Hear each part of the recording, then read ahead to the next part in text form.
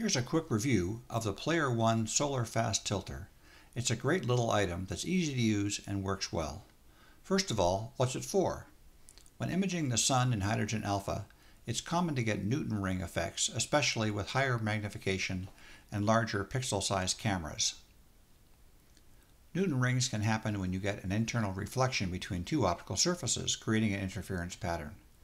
They appear as concentric, alternating light and dark rings.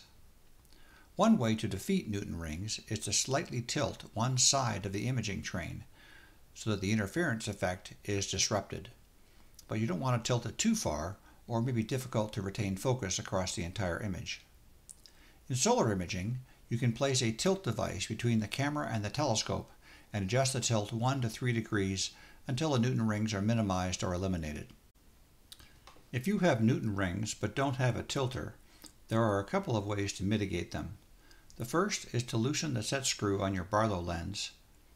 Pull the camera slightly back and tilt it left or right, taking advantage of the slight play in the connection, then retighten it when the Newton rings look better. You may have to pull the camera partly out of the Barlow connection to get it to work, so be careful that it's still well connected. The other trick you can do is take flats, which also help to reduce the appearance of Newton rings. But Player One has developed a new solar tilter which is easy to use. First off, it's designed to accept a standard 1.25 inch barrel on both sides, so it fits quickly in between your camera and your Barlow. Second, the adjustment is made with two easy to adjust knobs, so no tools are required. I find it's best to deliberately be out of focus as the Newton rings are more visible then.